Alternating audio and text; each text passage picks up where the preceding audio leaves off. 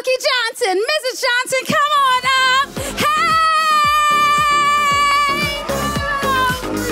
Hey! The theme of our summit is about power partnerships.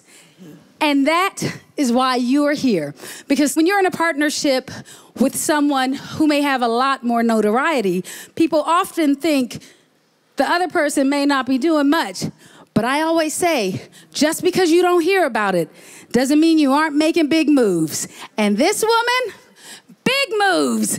Absolutely wonderful big moves. Did you know she had a clothing line and a jean line? CJ by Cookie Johnson. Did you know she's an author? Believe in magic? Did you know she's a philanthropist? Do you know she's a woman of God? Do you know she's intelligent? Do you know she's beautiful? Do you know she's here? She's in the room. She's powered up. How you gonna do it? You're gonna what? That's it. So we talked about stepping into your power. That is what we just finished. How do you step into your power as a woman who is powerful, who may not always, whom people may sometimes underestimate your power because they don't always see you in the forefront? How do I step into my power? How do you step into it? Well, first of all, I start everything that I do um, always starts with God and he is the head of my life. And if there's anything that I, I wish to do or want to do, I pray about it first. And then I, I get a plan and I create a plan. And for me, so whenever I do something, even if it's scary, then it's like stepping out on faith. Step into it. Stepping out on faith. And when I step out on faith, I know that that God's got my back. And because he has my back, then I'm not afraid to step out and try to achieve that goal that I'm, I'm working on or that dream that I want because I know I have good backup. And not only do I have God as my good backup, I have my husband as a great teacher and, and, um, uh, a tool to help me with with you know whatever it is like when i for example when i wanted to start my clothing line i was very nervous and I thought that maybe I wouldn't, you know, no one would want to buy anything that I designed. Of course, if it, if it was him, that's one thing, but me, I didn't think anybody would do it. But I had to, I believed in it. I really wanted to do it. Um, fashion, I've been, has been part of my life forever. I went to school for fashion. I have a four year degree at Michigan State University in retailing of clothing and textiles. A lot of people don't know that. Exactly. They think I just decided, you know, because we have money, I wanted to start a clothing line. But no, fashion has always been a dream of mine. And so when it came to starting that line, it was, I was very nervous about it. And but I again I prayed about it and I felt peace about it. And then I sit down and I talked to my husband, and he gave me a strategy to work with because you have to have a strategy, you have to have a plan before you start. Um, so that that's you know how if you get all that behind you, then you can step out. And that's how I did it. Okay, did she step into it? That's it. So when we talk about power tools, which is the whole point of this summit, is for you to have tools you can use. Cookie just gave you some tools you can use. Have a plan, have faith, talk to a higher power.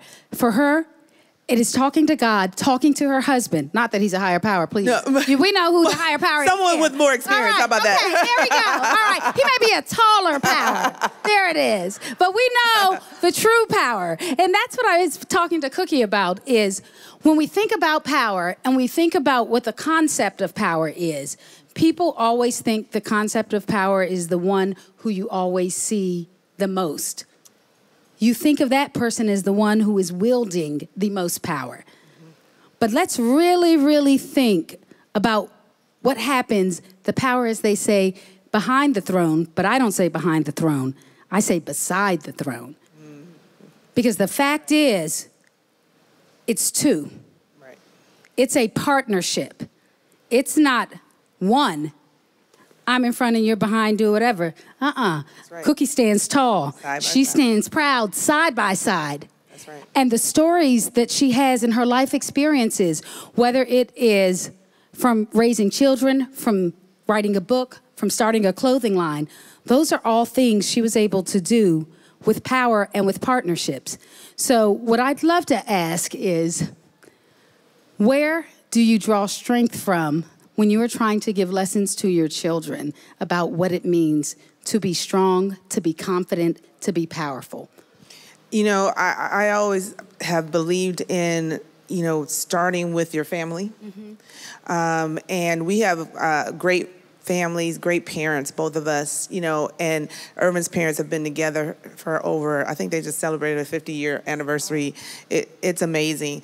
So you start with your family, to me, um, and I, you know, talk to them about raising kids and, you know, um, you know, just getting morals and and and things uh, from them, and and just little life lessons from them. And so I start with that. Um, and then you have a village. So you have your your friends, you know that um, you know you you all have the same kids, you go to the same school. You you have all those, and you have those friends that will just you know do anything for you. It's just as like you would to, for them and their children. Um, so to me, it takes a village of people and a village of wisdom. And you gotta you have to i know sometimes people think oh i can i know it all and i can do it all myself. And my whole point is no you don't and no you can't. All right. So you have to draw on that village. It's so important. And even though sometimes grandma might might be sounding like okay that's too old school for me for me but you got to really listen to the wisdom of what they're saying and pull that out and relate it to today. You know um, they knew what they were talking about when they were saying you know kids need to mind their parents or um, kids need to be grounded. You know nowadays there's always these there's all kinds of different philosophies on raising kids. You don't spank them. You don't do this. You don't do that. But you always have to reach back to those roots and really listen to them and, and really get it and then translate it into what you're doing into, in this world. And so I say, use your wisdom from your family and your friends. And when you put it all together, you can make really good decisions. And that's a great way to raise your kids. And that's one thing where, as Cookie is talking about the wisdom from family, from your friends, from your elders, those are all maybe families those are relationships you have, but those are all partnerships. So, so many people are thinking you've got to go outside of the norm of, mm-hmm. okay, I have to go find a friend who is just going to be my partner. There's so much wealth and so much wisdom that you can get by just looking in your family right? tree. Yeah wherever it is, right in front right of you, indeed. You. So those are things when I talk about power moves and power partnerships, and Cookie is saying here are many ways that she's been able to make power moves and have an awareness and understanding of when you even need to go and seek out additional help, seek out additional resource, seek out additional support. That's a move that you're making, mm-hmm. and oftentimes to make sure you are not doing it alone, you want to make sure you're doing that move, and you want to make sure you're doing that move right. with people who you know have your best interest. And don't heart. feel like because you're asking other people for uh, help that that diminishes your power. Mm-hmm. It doesn't. It actually just fuels it. So you have to think. I guess you could look at it in different a different perspective, because um, I know a lot of people they like control and they want to make sure that they're the ones in control, so they're making all the decisions. But sometimes, especially when you're raising kids, you really need the wisdom of other people, and it's okay to use that wisdom. Like I said, you think of it as as fuel for your power, not tearing down your power. Ooh, power talk. That's what we're having right here. Fuel for your power. Fuel for your power. Do you all really understand what it is she's saying here? That you are powerful. But you can fuel your power even more when you are looking for these resources. When you are going, whether it's your family and your friends, and you're understanding and having that awareness that asking for help is not a sign of weakness it's a sign of strength. Looking for those resources is a way for you to fuel your power. I thank you, Cookie. Yeah. I mean that one. I, I